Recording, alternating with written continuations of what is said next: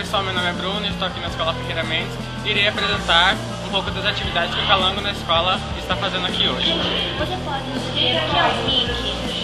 Então, o Mídias Integradas ele é nada mais do que a junção da parte de comunicação dos coletivos da Volume, né, Voluntários da Música, do Espaço Cubo, do Movimento Panambi e da CUFA, Central Única das Favelas.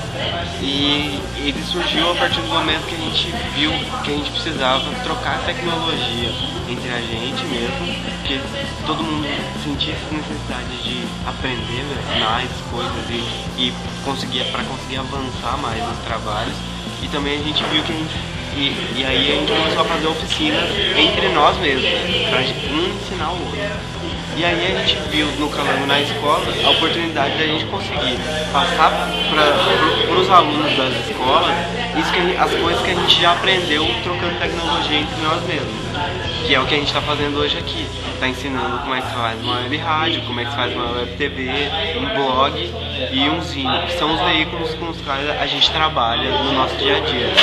E a gente vai passando os alunos para tentar formar, assim como nós temos os nossos centros de mídia, a gente tenta formar um centro de mídia na escola.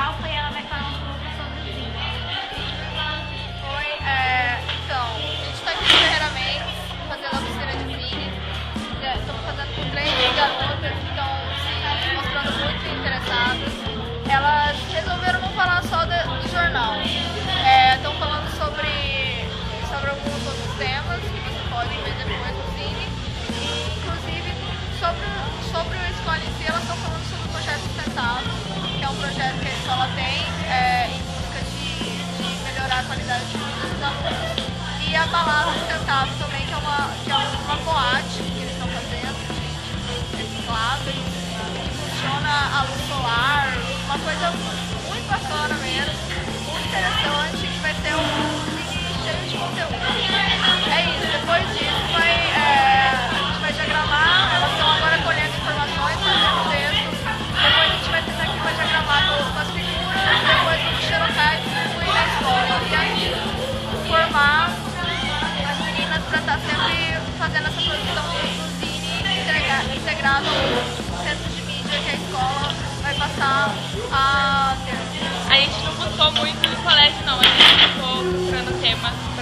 abordar mais parar parar para pensar.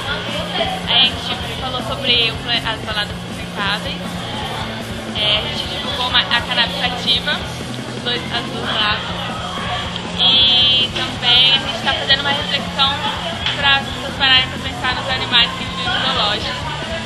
E, tipo, será que é certo ele, a gente, para ver eles durante um instante, eles ficarem a vida inteira presos? Se fosse é, com a gente, tirassem a nossa liberdade de ver a emissão do mundo e resumissem ele apenas a uma jaula. E só isso, e a gente o professor Stalin para falar sobre o projeto que ele então eu queria saber como funciona o blog. Cara, o blog ele é um, ele é um site na internet que você faz com muita facilidade, assim, é, você, você não precisa pagar, é diferente de um site que você não precisa de, de pagar para você hospedar né, o conteúdo. E, e ele é bem, bem simples, assim, de, de você mexer e qualquer pessoa pode ter acesso, tanto para fazer um, o próprio blog quanto para acessar o, blog do outro, linkar o seu blog, o blog do outro, no caso aqui das escolas, a gente ter é, cada escola com link de todas as outras escolas que houve a atividade, né? E operacionalmente o blog ele é, é, funciona trabalhando muito com texto e foto.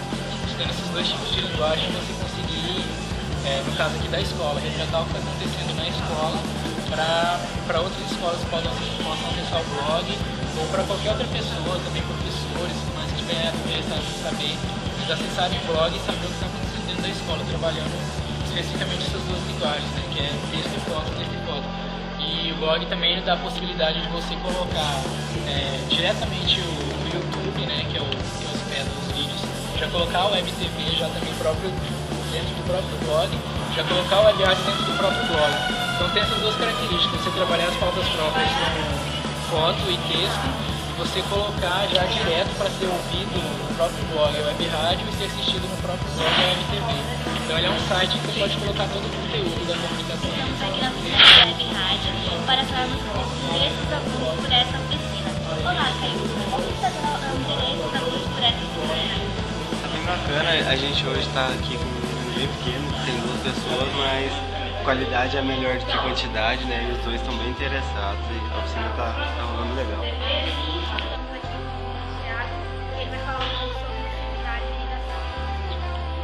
Bom, a gente está aqui no seminário com o tema Conhece a produção independente? E a gente está apresentando uma produção independente e todo o mercado que ela envolve para os professores e para alguns alunos da escola. Então, agora eu queria pedir para a professora que está acompanhando a gente, que participou bastante do seminário, falar um pouquinho do que ela está achando de tudo isso. Estou achando maravilhoso, assim, eles cuidam de todo o processo, toda a criação, divulgação, é, como tinham dificuldade de estar divulgando, eles criaram os próprios meios para estar fazendo isso, de TV, de rádio, internet. É, achei excelente a ideia da, do Publicard, né? Publicard, porque daí eles não ficam é, presos, não, não deixam de criar por falta de recursos não precisam tanto ficar ligados aos apoios, né? Eles, existem os apoios, mas é, é, os apoios não fazem com que eles tenham que fazer as suas músicas enquadradas, seu material enquadrado. Eles têm uma liberdade para criar em função de terem acesso a todo o processo, né? serem donos de todo o processo. Certo? E eles fazem isso através de conjunto, né? Sempre voltado para o coletivo.